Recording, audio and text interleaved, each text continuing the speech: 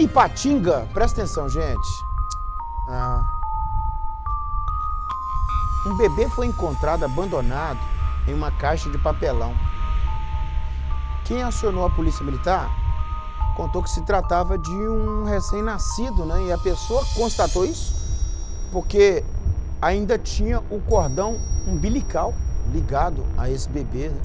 O assunto ganhou repercussão, né? Eu vou chamar a Gisele para contar. Ô Gisele, ah, mais uma vez sem palavras. Boa tarde, Gisele.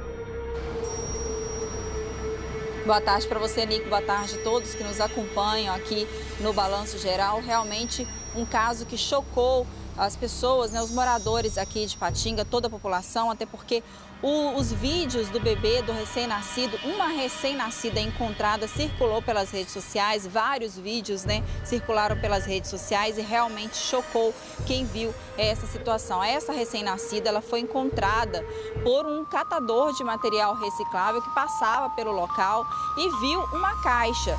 Segundo ele, nós conversamos com ele hoje pela manhã, ele achou que ali na caixa poderia ter algum objeto que poderia servir para que ele pudesse utilizar como material reciclável. E quando ele abriu a caixa veio a surpresa. Tinha a recém-nascida, ainda com cordão umbilical e restos de placenta dentro de uma sacola preta. Então ela estava dentro de uma sacola preta, dentro dessa caixa de papelão e essa caixa de papelão foi encontrada em um lote vago. E imediatamente esse catador de material reciclável, ele, ele, ele se desesperou né, ao ver esse neném ali, chamou as pessoas que moram perto e rapidamente também acionou o SAMU para que pudesse fazer o resgate deste, desta recém-nascida o mais rápido possível até um hospital daqui de Ipatinga. De acordo com a Polícia Militar, essa recém-nascida apresentava sinais de, de, desidratação, glicose baixa, mas sem risco de morte, Nico. É, hoje pela manhã, circula também nas redes sociais, inclusive confirmação pela polícia, que há uma mulher sendo procurada como principal suspeita de ter deixado essa recém-nascida neste lote vago. As imagens que a gente vê, a mulher caminha na rua, exatamente na rua onde a recém-nascida foi deixada. Ela, ela, carrega uma sacola nas costas e depois tem, tem um certo trecho que ela para, ela olha e aí ela até desaparece das imagens e de um outro ângulo dá para ver também que ela já não, já não está mais com a sacola nas costas, né? Então este caso está sendo, olha só, esse momento aí é o momento que ela para, olha e em seguida ela desaparece da cena. Então é, aí depois a gente vê ela seguindo já sem a sacola nas costas. Ela já está sendo procurada pela polícia e aparece como principal suspeita de ter deixado esta recém-nascida neste lote vago Felizmente, Nico, essa recém-nascida, o quadro clínico dela é estável, não corre risco de morrer e a reportagem completa sobre este caso, inclusive com o relato do catador de, eh, material reciclável que encontrou essa neném dentro dessa, dentro desta caixa, a gente vai ver tudo no MG Record logo mais à noite. Eu volto com você, Nico. É, obrigado, Gisele. Eu tô aqui e eu tô aqui moído, porque mexe com o emocional da gente uma coisa dessa, gente. Ah, eu tenho meu neto, Henrique tá lá desenvolvendo, crescendo. Eu sou apaixonado com criança, quem me conhece sabe disso. É por isso que eu dou uma atenção especial para as crianças que mandam mensagem aqui, para as crianças que me abraçam por meio da rua. Eu tenho um respeito muito grande com criança. A criança ela tem um mundo diferente, né? Ela tem uma inocência, ela traz uma paz. Não é à toa que Jesus mandou a gente ser como criança, né? Aí vem a Gisele e me conta um caso desse que as imagens, como a Gisele falou com muita categoria, porque as imagens que mostram a pessoa andando com a sacola semelhante a essa que é encontrada, não é a Gisele que está afirmando que é. É, parece que tem uma caixa, né, Jarão? Aqui, ó. A gente percebe. Parece a mesma sacola, parece a mesma caixa. A pessoa abandona no local. Isso é 13 horas. Eu tava no ar aqui no balão geral e a pessoa fazendo a maldade dessa. Depois vai sumir aqui nesse canto. some da imagem, pode deixar aqui, Jarão.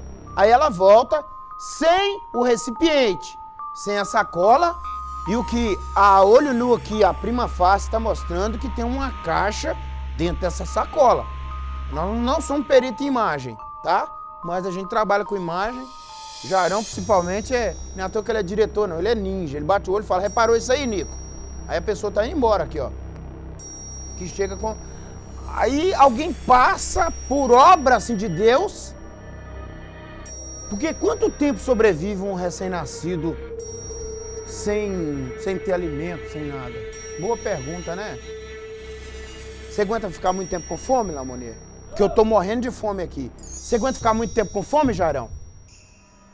Como é que você fica quando está com fome? Como é que você fica em cima? Complicado, né? Você fica bravo. É, fala, troca de câmera, Nico, fala mais áspero.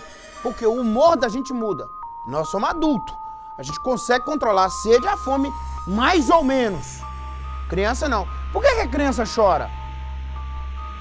Quando tá lá no berço. Tá chorando por quê? Aí eles viram e falam assim: quem não chora não mama, já ouviu esse ditado? Porque vai lá, tem que dar o de mamar pra criança pra parar de chorar. Olha só, olha essa imagem, gente. Ah, isso é estarrecedor. Ó, o ser humano tá me fazendo vergonha.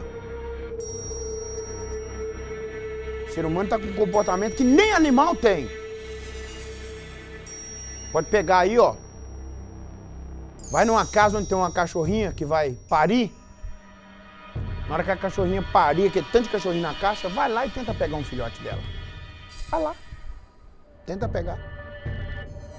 Aí o ser humano, a Nicomedes, mas você está falando sem saber quem é a pessoa, o estado emocional, o estado psíquico dela, o estado psicológico, é, realmente eu não sei. Nem a polícia sabe. Porque existe um fenômeno também que afeta a mente e até a lei vai chamar de estado puerperal. A lei vai conferir uma pessoa após parto tem um período que pode gerar um tormento, uma confusão emocional e psicológica que leva a pessoa a ter um comportamento animalesco, ao ponto de abandonar o próprio filho ou filha. A lei fala de estado puerperal. É pós o parto. Aí tem um lapso lá que a lei, né, através da psicologia, da psiquiatria, vai atestar se tem uma culpa ou não em razão disso. Inclusive, é, vai ser a causa de excludente aí, né? Dessa ilicitude. Eu não sei quem é, não vi exame, a polícia não falou ainda. Eu estou falando descartando a hipótese do estado puerperal. Quem faz uma coisa dessa é não ama a vida, não. E tem filas e mais filas de doações, né? As pessoas querendo doação. Doação não, né, Gerão? Fala, como é que fala? Ah, adoção. Doação não. Troquei a palavra adoção. É porque eu não tô, sinceramente, eu não, não fiquei bem, não. Eu tô, eu tô passando mal. Tô passando mal. E o Jarão, tô falando que o Jar é observador com imagem. Quando eu falei da hora certa aqui, o Jar ainda tá lembrando um detalhe importante. Falou, dá uma olhada aí, Nico. A lua que tá. Olha a lua, Lamonier. Sol quente.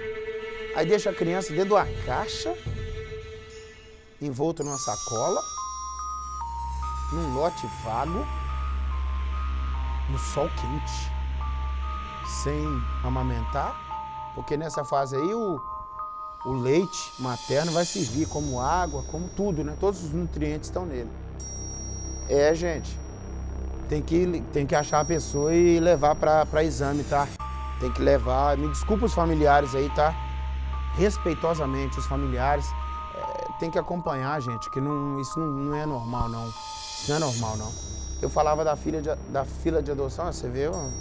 Ah, ah, meu Deus. Aguento não, Jarão. Dá não. Dá não.